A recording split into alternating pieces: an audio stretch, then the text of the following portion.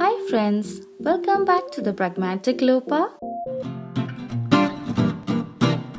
Looking out for some easy and affordable way to brighten up your home or create an added glow, especially when Diwali, the festival of lights, is round the corner? Who doesn't want some special visual effects to prep their house for much awaited festivities? Or if you're just sick of the same look of your room since ages and are looking for an instant new look without much hassle, that too within your budget, then definitely try this. Irrespective of the reason why you choose to do this DIY, these mini lanterns will brighten up your mood without pinching your pocket, unlike the store bought ones.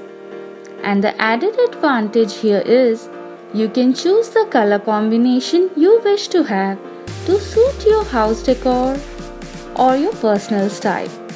And when your guests leave your home complementing the decor, you can always pat your back.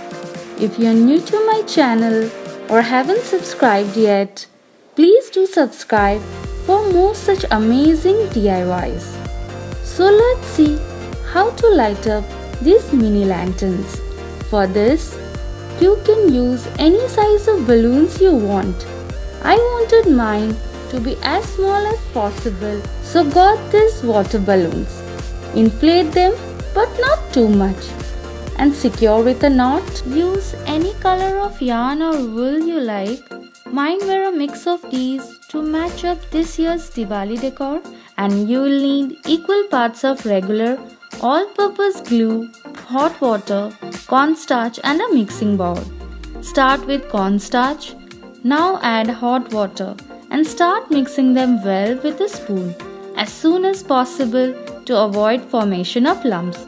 You can do this DIY even without cornstarch with just glue and water, but I strongly recommend to add cornstarch which would thicken the glue and the yarn is much more firm and strong.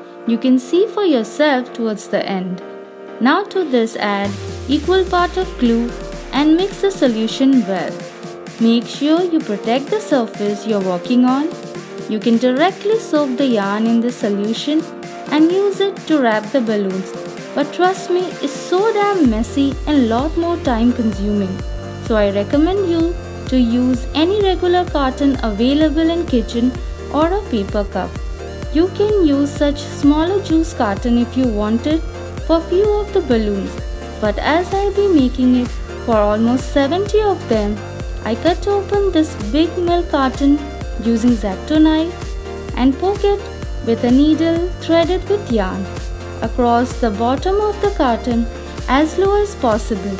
Once you pull the yarn from the other end, pour in the solution mix into it. So when the yarn passes through this glue mix, it soaks up the glue and when pulled through the hole you created, the excess glue is removed automatically, leaving only the adequate amount of glue required and also by this process you can manage yarn easily without getting tangled, hence avoids getting messier. Make a knot with yarn at top of the balloon. At this point, Leave some amount of yarn before making the knot which would be later used for drying to hang these balloons. But as I forgot to leave extra length of yarn, I'll use separate piece of twine to hang them to dry later. Start wrapping the balloon randomly. Keep in mind, don't wrap the yarn too tight else it might slip off, but not too loose as well. Just tight enough to fit the balloon.